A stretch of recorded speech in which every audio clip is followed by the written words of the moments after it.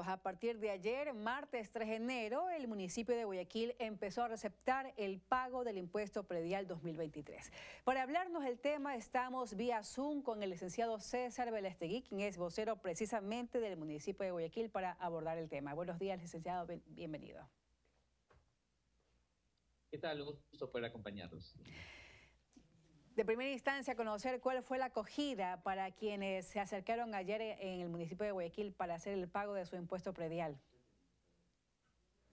Sí, como es costumbre, en estas fechas los adultos mayores son los primeros en acercarse a cumplir con estos, eh, estas obligaciones tributarias. El día de ayer aproximadamente unas 500 personas se acercaron a, a las oficinas del municipio de Guayaquil, en donde se han habilitado más de 15 ventanillas se ha establecido un área específica para adultos mayores quienes también quieren acogerse al descuento eh, de acuerdo a su situación. Y habrá personas que no pueden cumplir con el pago a través de la banca en línea que también se han acercado. El 70% de los pagos de impuestos prediales se da a través de la banca en línea. El día de hoy eh, ya prácticamente han desaparecido las colas, no hay personas esperando, sin embargo se han mantenido las sillas y carpas para que las personas puedan eh, cumplir con sus obligaciones tributarias. Y solo el día de ayer más de 800 mil dólares han sido recaudados. Se espera eh, el corte en general durante los tres primeros días. Recordemos que el 1 y el 2 muchas personas hicieron estos pagos a través de la banca electrónica y todavía no se ve reflejado dentro del sistema de estos pagos. Sin embargo, más allá de eso, se ha continuado adelante con eh, la atención a la ciudadanía, se han creado espacios adecuados y fáciles de atención, es decir, no pasan más de cinco minutos en ventanilla y las personas pueden seguir acercándose a cumplir con esta obligación tributaria. Recordemos que hay descuentos y estos eh, cada 15 días disminuyen un 1% hasta el mes de junio, es decir, que la primera quincena de enero el descuento es del 10%, la segunda quincena de enero del 9%,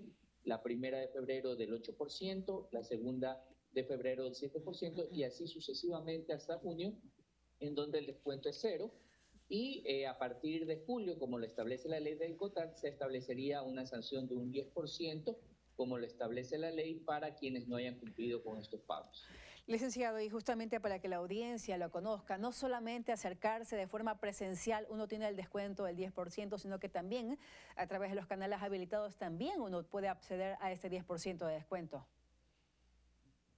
¿Sí? como usted señala, eh, dentro de eh, la banca digital, la banca electrónica, a través de la página web del municipio de Guayaquil, www.guayaquil.gov.es, donde dice pago de impuestos prediales, ustedes le dan clic y va a salir la nómina de agencias, de entidades bancarias que están trabajando, de cooperativas que también se puede hacer en estos pagos o de aplicaciones de eh, moneda digital que pueden cumplir con esta obligación. Y una vez que ustedes registran sus datos, le genera el valor ya automáticamente con el descuento.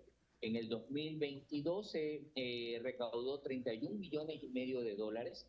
Para este 2023 se espera recaudar 32 millones y medio de dólares y este incremento se da no porque haya subido el valor de los impuestos, el valor de los impuestos se mantiene congelado, sin embargo hay decenas de miles de personas que han podido acceder a los planes habitacionales impulsados por el municipio de Guayaquil y son ellos quienes ya cuentan con una casa propia y ya están cumpliendo con eh, los tributos pertinentes.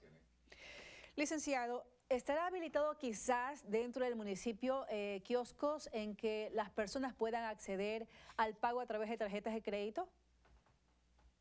Sí, efectivamente. Adicional a las 15 ventanillas que tenemos, se han habilitado cuatro módulos digitales en donde hay personal municipal para asesorar a quienes quieran hacer estos pagos con tarjeta de crédito. Y una vez que hacen el pago, se le entrega la especie digital que está totalmente con todos los niveles de seguridad, con el número seriado para evitar cualquier tipo de situaciones y tiene el valor, el mismo valor que la especie valorada que se le entregan en ventanilla.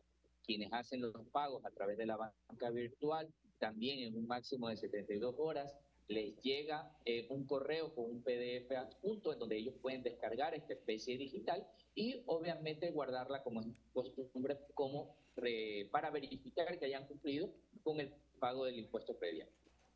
Para finalizar la entrevista, el licenciado Velastegui también conoce los horarios de atención y también para las personas que están interesadas en la exoneración de los impuestos prediales, ¿qué tienen que hacer?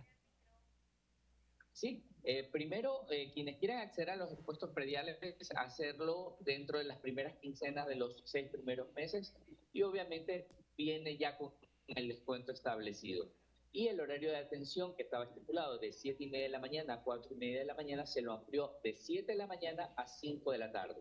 Normalmente, eh, como en años anteriores, incluso el día de ayer, tipo 3 de la tarde, ya no había personas eh, queriendo pagar los impuestos porque ya habían cumplido con el trámite. Sin embargo, las ventanillas permanecieron abiertas hasta las 5 de la tarde.